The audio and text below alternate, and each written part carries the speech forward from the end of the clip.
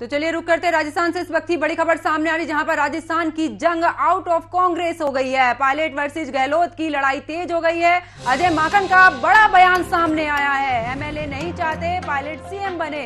गहलोत गुट ने भी तोड़ा है अनुशासन। तो देखिए, राजस्थान से ये बड़ी खबर आपको बता रहे हैं, जहाँ पर अजय माकन का जो बयान है, वो सामने आया है। अजय माकन का कहना है कि एमएलए नहीं चाहते कि पायलट सीएम बने।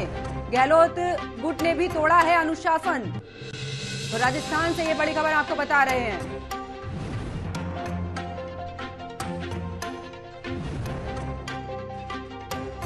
तो कांग्रेस में अध्यक्ष और राजस्थान के मुख्यमंत्री का चयन आपस में उलझ गया है। अशोक गहलोत के अध्यक्ष पद के नामांकन के बीच सचिन पायलट को मुख्यमंत्री बनाए जाने की संभावना बनने लगी है। ऐसे में गहलोत गुट हाईकमान से भी भिड़ गया है। गहलोत गुट ने विधायक दल की बैठक का बहिष्कार कर दिया है। कांग्रेस अध्यक्ष चुने जाने तक, यानी कि 19 अक्टूबर तक यह गुट किसी से भी कोई भी मीटिंग में भी ये शामिल नहीं होगा। शर्तें भी रखी गई हैं। पहली शर्त है, सरकार बचाने वाले 102 विधायकों यानी कि गहलोत गुट से ही सीएम बने। दूसरी शर्त है कि सीएम तब घोषित हो जब अध्यक्ष का चुनाव हो जाए। और तीसरी शर्त यह रखी गई है कि जो भी नया मुख्यमंत्री हो, वो गहलोत की ही पसंद का ही हो। इसी खींचातान के बीच ऑल इंडिया कांग्रेस कमेटी की ओर से जयपुर भेजे गए पर्यवेक्षक ने अजय मागन ने कहा है कि विधायक नहीं चाहते कि सचिन पायलट को सीएम बनाया जाए। साथ ही उन्होंने कहा है कि मुख्यमंत्री अशोक गहलोत से पूछकर विधायक दल की मीटिंग रखी गई थी। हम लोग विधायकों से वन टू वन बातचीत करने के लिए तैयार थे। तो देखिए, राजस्थान की जो सियासत है, वो काफ़ी चरम सीमा पर है इस दौरान। गहलोत गुट और साथ ही सचिन पायलट गुट में अलग अलग बयान सामने आए हैं जिसको लेकर एक बार अजय मागन का भी बयान सामने आया। उन्होंने कहा है कि विधायक नहीं चाहते कि सचिन पायलट को मुख्यमंत्री बनाया जाए।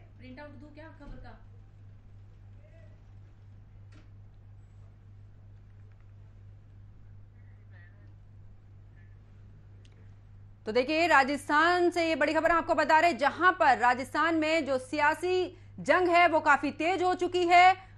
जो गहलोत, गुट के जो विधायक हैं, उन्होंने बैठक में भी जाने से साफ़ तौर पर इंकार कर दिया है। और साथ ही इस दौरान शर्तें भी रखी है। उन्होंने कहा है कि जो भी मुख्यमंत्री होगा, वो अशोक गहलोत की ही पसंद का होगा। साथ ही उन्होंने ये भी कहा है कि जब तक अध्यक्ष पद का चुनाव नहीं हो जाता है, उसके बाद ही मुख्यमंत्री कौन होगा, इसका भी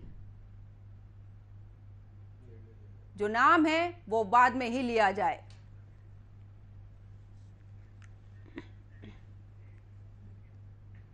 तो इसी खबर पर हम मेरे साथ में कांग्रेस प्रवक्ता प्रतिष्ठा यादव जुड़ चुकी हैं और बीजेपी प्रवक्ता डॉक्टर नमीशा गौड़ भी मेरे साथ जुड़ चुके हैं। आप दोनों का बहुत बहुत स्वागत है न्यूज़ वॉच इंडिया पर। सबसे पहला सवाल, जो कांग्रेस की प्रवक्ता है, प्रतिष्ठा यादव आप ही से कि देखिए, एक तरफ़ तो अध्यक्ष पद को लेकर तमाम तरह की जो कयास हैं, वो लगाए जा रहे थे और अब मुख्यमंत्री पद को लेकर भी सियासत गर्मा गई है। आखिरकार दोनों ही पद पर कौन कायम रह सकता है? देखिए मैडम, ये कांग्रेस पार्टी है और यहाँ लोकतांत्रिक तरीके से काम हो रहा है, चुनाव हो रहे हैं, संगठन के भी और उसमें भी चुनकर हमारा अध्यक्ष बनने जा रहा है। तो निश्चित रूप से कुछ नया पार्टी के अंदर हो रहा है और कुछ नहीं, कांग्रेस पार्टी में आने वाले दिनों में आपको सब कुछ एकदम नया और परफेक्टनेस आपको नज़र आएगी और ये लोकतंत्र ही है कि इसमें खुलकर अपनी बात रखने का हर विधायक को अधिकार कांग्रेस पार्टी के अंदर है। बीजेपी की तरह हमारे यहाँ ऐसा नहीं है कि दो व्यक्ति या एक व्यक्ति जो फैसला कर दे वही सब मान ले। हमारे यहाँ पर ये परंपरा है कि यहाँ लोकतंत्र की हम देश के अंदर लोकतंत्र की बात करते हैं तो सबसे पहले हम अपनी पार्टी के अंदर भी लोकतंत्र की बात करते हैं। तो यहाँ लोकतांत्रिक तरीके से अध्यक्ष का चुनाव हमारे यहाँ होना जा, होने जा रहा है और इसके लिए गहलोत साहब नामांकन करेंगे। और आने वाले टाइम में आपको पार्टी एक नए रूप में खड़ी नज़र आएगी बहुत मजबूती के साथ में तो फासिस्टवादी ताकतें हैं इनसे एकजुटता के साथ पार्टी लड़ेगी। प्रतिष्ठा जी, जिस तरीके से, अगर आप जिस तरीके से बोल रही हैं कि लोकतंत्र की इस दौरान बात कर रही हैं, लेकिन एक ही खेमे के दो गुट बन चुके हैं। पायलट ग्रुप गुट जो है वो अलग है और गहलोत गुट अलग है। किस तरीके से ये दो गुट एक ही परिवार में? देखिए ये कांग्रेस एक बहुत बड़ा परिवार है एक बड़ी पार्टी और बहुत पुरानी पार्टी है। तो निश्चित रूप से सबकी अपनी अपनी भावनाएँ हैं लेकिन ये चीज़ जो पिछले चार साल में क्योंकि ये चीज़ें हम बहुत सुनते आ रहे हैं कि गुट गुट लेकिन जब भी पार्टी के ऊपर कोई भी ऐसी बात आई तो आ, सब एकजुट खड़े रहे चाहे वो आ, इसके राज्यसभा के चुनाव हो और जो भी हमारे परिणाम थे वो उसमें एकजुटता जो हमारे ये जो बाई इलेक्शन के अंदर भी एकजुटता पार्टी ने दिखाई, पार्टी के सारे विधायकों ने दिखाई। अपनी अपनी बात कहने का हक और अपना अपना जो विचार है उसको रखने का अधिकार लोकतंत्र में सभी को होता है और कांग्रेस पार्टी में लोकतंत्र ज़िंदा है। इसलिए सभी अपनी अपनी बात रख रहे हैं कि जिसको भी जो जो पसंद है उस हिसाब से।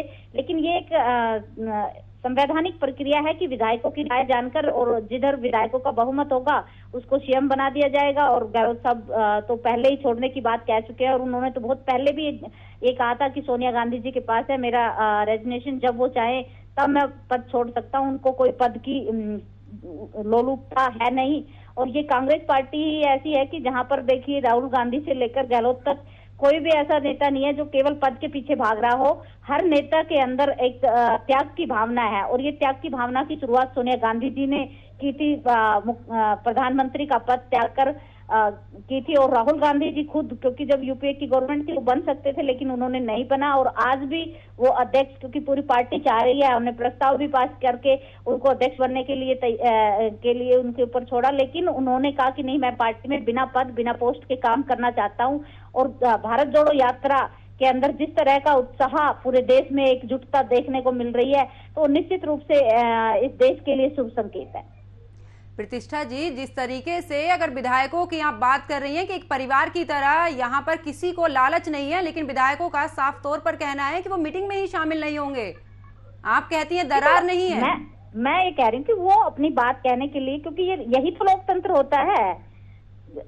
यही तो लोकतंत्र होता है कि जिसमें अपनी बात कहने का राइट सबको मिले, ये जिसमें अपनी बात बोलने का अधिकार ही नहीं मिले, वो गला घोटू होता है। उसमें लोकतंत्र की हत्या उसी उसी चीज़ को कहते हैं और यहाँ पर पूरा अधिकार है कि जो भी विधायक है वो अपनी बात आला कमान तक पहुँचा रहे हैं और अपनी भावनाओं को प्रकट कर रहे हैं। तो आला कमान उस पर डिसीज़न लेगा। इसमें कहीं कोई डाउट नहीं है बाकी सबको आला कमान का डिसीज़न तो माने ही रहेगा लेकिन अपनी भावनाएँ अपनी भावनाएँ अपने जो सिर्फ़ नेतृत्व तक पहुँचाने का काम हर विधायक कर रहा है। लेकिन बैठक में नहीं शामिल होना ये कहीं ना कहीं एक बड़ा सवाल है कांग्रेस के अंदर। कांग्रेस के खेमे के अंदर ये बड़ा सवाल है कि देखिए आला कमान की आप बात मानने के लिए तैयार हैं लेकिन जो बैठक बुलाई जा रही है उसमें वो शामिल नहीं होना चाहते हैं। देखिए ये आ, आ, कुछ विधायकों ने मिलकर इसका जो भी डिसीज़न लिया है तो उन्होंने कुछ सोच समझकर अपनी बात आला कमान तक पहुँचाने के लिए नेतृत्व के नोटिस में जो उनकी बातें हैं उनको रखने के लिए उन्होंने आ, लिया है। और ये निश्चित रूप से आप ये देखिए कि आने वाले टाइम में कांग्रेस पार्टी में क्योंकि जो भी होगा वो बहुत बेटर होगा ये मेरे को पूरा मानना है। क्योंकि जहाँ लोकतंत्र में अपनी बात रखने का अधिकार सबको है और सबकी राय लेकर कोई डिसीज़न लिया जाता है जिसमें सबकी भावनाओं का सम्मान किया जाता है जिस डिसीज़न में, वो डिसीज़न परफेक्ट होता है। कोई भी चीज़ का हम निर्णय लेते हैं उसपे थोड़ा वाद विवाद हो सकता है, थोड़ी एक दूसरे के अंदर मतभेद हो सकता है, लेकिन मन में भेद कहीं नहीं आएगा। जब सब कुछ, जब अध्यक्ष, हमारे राष्ट्रीय अध्यक्ष चुनाव के मार्फत बन जाएँगे और यहाँ पर भी जो भी हाईकमान दिशा निर्देश दे तो सबको मान्य है, सबने डिसीज़न आखिरी हमारे शीर्ष नेतृत्व पर छोड़ा है, लेकिन उन्होंने अपनी बात वहाँ तक पहुँचाने की एक कोशिश की है कि भाई उनकी जो भी शर्तें हैं, वो वहाँ तक वो पहुंचाना चाह रहे हैं कि भाई ये हमारी भावनाएँ हैं और इनको शीर्ष नेतृत्व इनके ऊपर गौर फरमाए, लेकिन आखिरी फैसला शीर्ष नेतृत्व जो लेगा, वो हम सबको मान्य होता है। चलिए, बीजेपी प्रवक्ता नमीशा जी भी हमारे साथ जुड़ी हैं। नमीशा जी, किस तरीके से आप, जिस तरीके से कांग्रेस की अगर बात करें अध्यक्ष पद का भी चुनाव करना है। सीएम पद को लेकर भी इस समय कवायद जो है वो काफ़ी तेज है गहमा गहमी नज़र आ रही है। क्या कुछ कहना इस पर? देखिए, ये राजस्थान में कांग्रेस की सरकार है और जब से सरकार यहाँ पर आई है, तब से आप स्थितियाँ लगातार ये बैसाखी में बैठी हुई सरकार है। आज जो स्थितियाँ बनी हैं, वो आज की नहीं है, पहले भी, दो साल पहले भी ये घटनाक्रम हुआ था और होटल में जाकर के इन्होंने खुद को बंद कर लिया था, कैद कर लिया था। आपस में अंदरूनी लड़ाई है इनकी। जब इन्होंने डिप्टी सीएम को एसओजी का नोटिस पकड़ा दिया तो रूस की दिल्ली चले गए। और आज की घटनाक्रम आपके सामने है कि भाई कांग्रेस के अंदरूनी मामले में ज़्यादा तो नहीं कहूँगी लेकिन जो दिख रहा है यहाँ पर ये पर्यवेक्षक जो माकन जी आए हैं उन्होंने कहा कि मिल नहीं रहे हैं कुछ प्रतिष्ठा जी स्वीकार कर रही हैं कि सब जो घटनाक्रम हो रहे हैं हम ये आला कमान के ध्यान में लाने के लिए कर रहे हैं। तो इस, इसका सीधा सा जो दिख रहा है वो यही है राजनीतिक पटापेक्ष में इसका सीधा है कि आला कमान को दिखाना, आँख दिखाने का कार्य एक गुट कर रहा है। तो उसकी, उस जंगल राज का पूरा का पूरा प्रभाव जो है ना, वो आम जनता पे पड़ रहा है। कानून व्यवस्था की धज्जियाँ उड़ी हुई राजस्थान में, लेकिन इनकी सरकार जो है ना, बने, बिगड़े, मुख्यमंत्री बने, आए, इस गुट का पूरा प्रभाव जो है, दुष्प्रभाव मैं कहूँगी, वो आज राजस्थान में पड़ रहा है। बिगड़ रहे हैं, बोल आ रहे हैं, लगातार आज के चार दिन पहले तो आप देख रहे थे, एक व्यक्ति, एक पद सिद्धांत मेरे पे लागू नहीं होता। मैं थन्ने छोड़ कहीं नहीं जासूँ। ये मुख्यमंत्री जी के शब्द थे। मैं राजस्थान छोड़ नहीं जासूँ। तो अब अब थे कटे जा रहा हो। फोर्स है या इनकी मर्ज़ी है, कभी कहते हैं लोकतंत्र है सिद्धांत में, और व्यवहार में जब इनके पर्यवेक्षक आते हैं तो इनका दूसरा व्यवहार होता है। तो ये दोगली राजनीति जो करती आई है कांग्रेस, कई भागों में विभाजित कांग्रेस, अभी गुलाम नबी आज़ाद ने भी अपनी पार्टी बना ली है डेमोक्रेटिक आज़ाद पार्टी। तो ये लगातार विघटन, लगातार विभाजन झेलती हुई कांग्रेस पार्टी ने अपने रीति नीति सिद्धांत नहीं बदले हैं। आज 24 साल बाद गांधी परिवार से निकल करके सोचा गया कि हाँ दूसरा अध्यक्ष होना चाहिए, उसके पीछे सबसे बड़ा कारण ही यही था कि दो राज्यों तक सिमटी कांग्रेस अब हार का ठीकरा, आने वाली हार का ठीकरा गांधी परिवार पर नहीं मरना चाहती थी। तो ये आहुत किस पर करें? ऐसा लगता है कि आहुति देने के लिए राजस्थान के मुख्यमंत्री को चुना गया। यानी कि साफ़ तौर पर कहना है कि एक कठपुतली की तरह किसी एक को ये जो गांधी परिवार है वो बैठाना चाहता है। बिल्कुल। ऐसा प्रतीत होता है राजनीतिक विश्लेषक।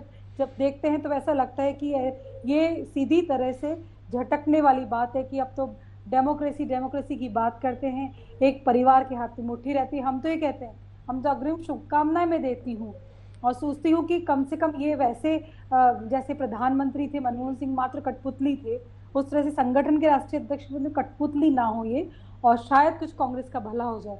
और ये भारत जोड़ो यात्रा जो है गोवा से टूटती भी राजस्थान तक टूट गई है। अब आगे कहाँ तक जाएगी देखने वाली बात है। प्रतिष्ठा तो जी कांग्रेस आज साफ़ तौर पर बीजेपी की तरफ़ से कहना है कि। जो मनमोहन सिंह के साथ में हुआ था कठपुतली के तौर पर वही एलिगेशन फिर से कांग्रेस पर लगते नज़र आ रहे हैं। फिर से अध्यक्ष पद पर ऐसे इंसान को बैठाना चाहते हैं। साफ़ तौर पर बीजेपी की तरफ़ से। प्रीति जी ये क्या है कि बीजेपी की आदत है आक्षेप लगाने की।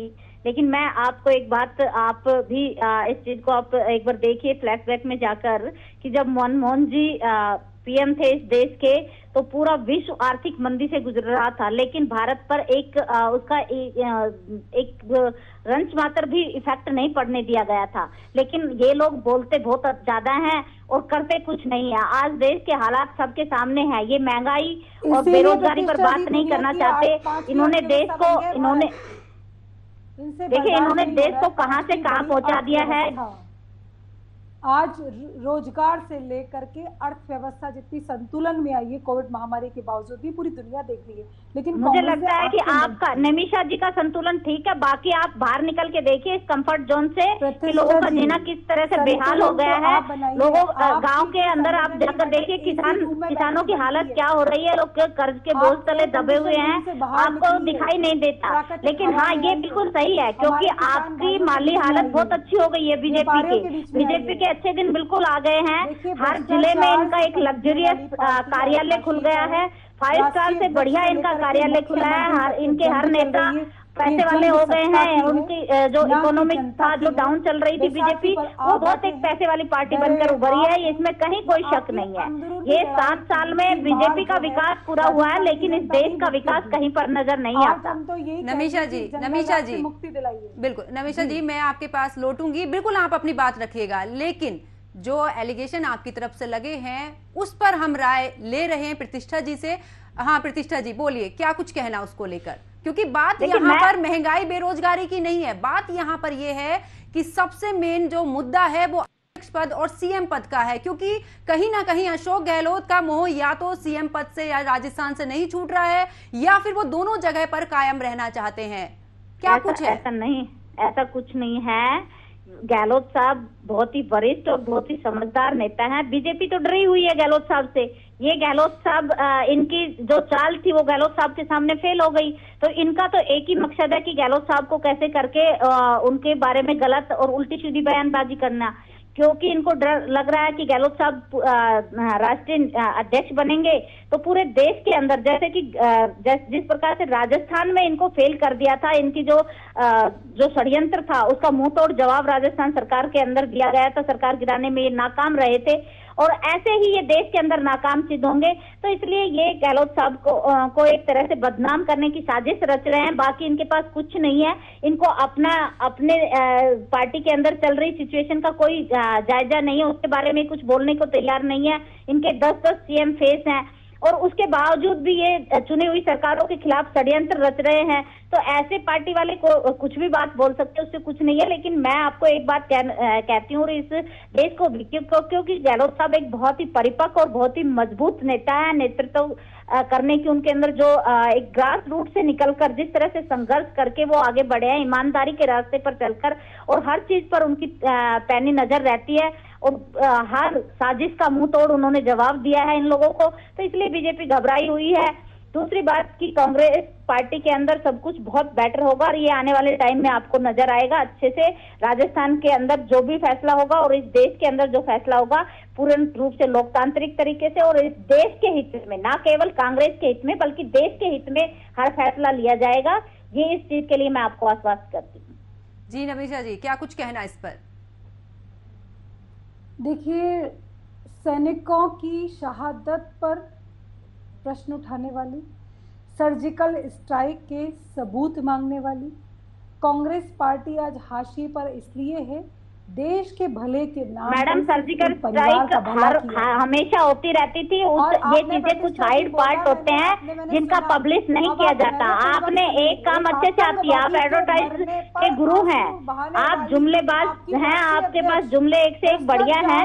बाकी ये सब चीज़ें पहले भी होती थी। आपने नया कुछ लेके आए हो तो बताइए। जीएसटी हम लेके आ रहे थे तब आप विरोध कर रहे थे फिर आप जीएसटी ले आए। कांग्रेस मुक्त प्रतिष्ठा जी बिल्कुल आपको बोलने का मौका दिया जाएगा।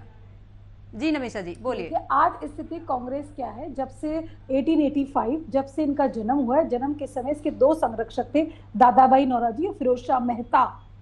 उन दोनों की पुण्यतिथि जन्म तिथि मनाते तक नहीं है। तो जो अपनी जड़ों से कट गए ना, वो आज तक विघटित होते होते विभाजन में अभी अभी गुलाम नबी आज़ाद ने भी अपनी पार्टी की घोषणा की है। डेमोक्रेटिक आज़ाद पार्टी बार बार वो एक शब्द का नाम लेते इस पार्टी में घुटन नहीं होगी यहाँ स्वतंत्रता होगी। तो घुटन स्वतंत्रता तो प्रतिष्ठा जी आपकी कांग्रेस पार्टी में है उसकी रीति नीति तो इतने साल गुलाम नबी आज़ाद जी इतने साल क्यों घूटे थे?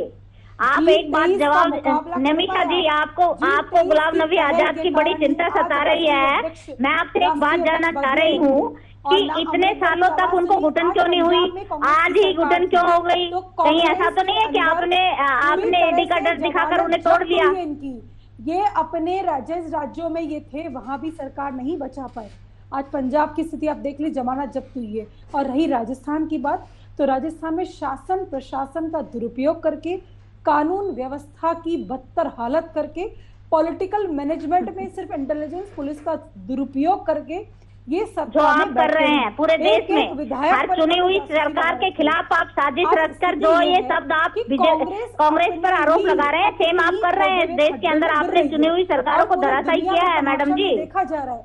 इनसे पूछा जाता है एनसीआरबी के आंकड़े इतने भयानक क्यों हैं? एक महिलाओं की स्थिति क्यों है? तो इनके विधायक आप देखिए यूपी में आपने क्या हाल मचा रखा है आए दिन न्यूज़पेपर के अंदर क्या सिचुएशन वहाँ की आ रही है? किन मुद्दों पर आप चुनाव लड़ते हैं और बाद में क्या करते हैं? तो आपको कुछ पता ही नहीं है इस चीज़ का। आपका काम केवल और केवल चुनी हुई सरकारों को खिलाफ साजिश करना है और इसके अलावा आप कुछ नहीं करते। और आप के देखिए अभी मीडिया के अंदर ही अखबार के अंदर आपका चुनावी ब्यौरा आया था। पाँच राज्यों के चुनाव का जो खर्च का ब्यौरा आपने दिया बीजेपी का चुनाव खर्च आप देखिए कितना आपने बढ़ा दिया है। केवल इनकी सत्ता लोग पैसों के धन बल। का इस्तेमाल करके आप सत्ता पाना चाहते हैं। तो आपकी स्थिति क्लियर है। आप दिव्या मदेरना को जवाब दीजिए ना। चिरंजीवी योजनाओं की आप- धज्जियाँ उड़ाती है वो आप तो आप विधानसभा आप वसुंधरा राजे को जवाब दीजिए मैडम। दिव्या को तो हम दे देंगे। आप वसुंधरा को दीजिए। आप वसुंधरा राजे सिंधिया को जवाब दीजिए। जब आज़ाद होने लगी तो यही विघटित हो गई है।